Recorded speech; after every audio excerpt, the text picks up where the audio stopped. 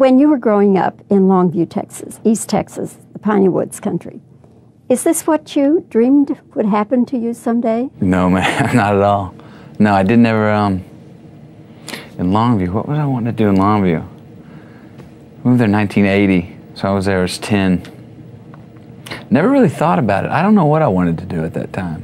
Earlier, I'd wanted to be a football player like my dad, but um, I never really thought of it. Didn't know we never didn't ever go watch films. We weren't really allowed to watch much TV or go see many films, so it was always doing something outside, kind of huck finning around.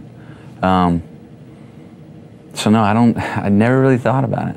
I don't think I was worried too much about what I was going to do back then. But now that you're here, one of the top actors of the country, Yeah, it's a good place, huh? great place. Yeah. Would you change anything? Would I change anything? No. No. I wouldn't change anything.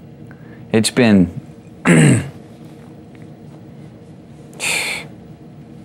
as well written as, as, as, as, as if I wrote it myself, which I guess I did have a hand in writing it, but um, it's been wonderful.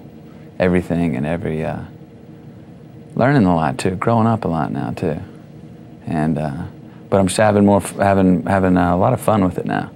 First, after, right after Time to Kill, when the, the first wave of like attention, which is sort of an odd kind of, kind of throws your equilibrium off a little bit it comes with that kind of frequency and size, was a little bit, you know, there's, there's a heady times, times to check in and make sure, maintain, a lot of, a lot of maintenance, you know, you know that about being from Texas, there's certain things that we want to maintain that just work all over the, all over the world. Um, and now I'm starting to really enjoy it, be able to play a little more offense with the opportunities I have.